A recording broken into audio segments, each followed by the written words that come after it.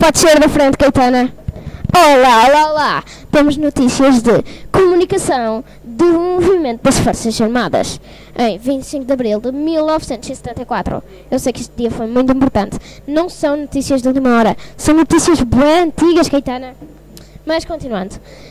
Aqui posto de comando do movimento das Forças Armadas. As Forças Armadas Portuguesas apelam para todos os habitantes da cidade de Lisboa no sentido de recolherem as suas casas nas quais devem conservarem-se com calma a máximo.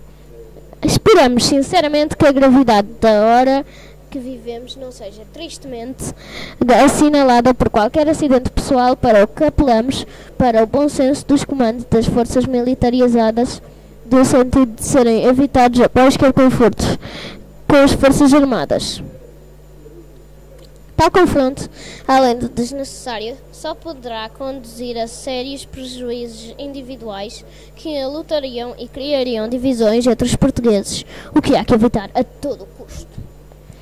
Não obstante a expressa preocupação de não fazer correr a mínima gota de sangue de qualquer português,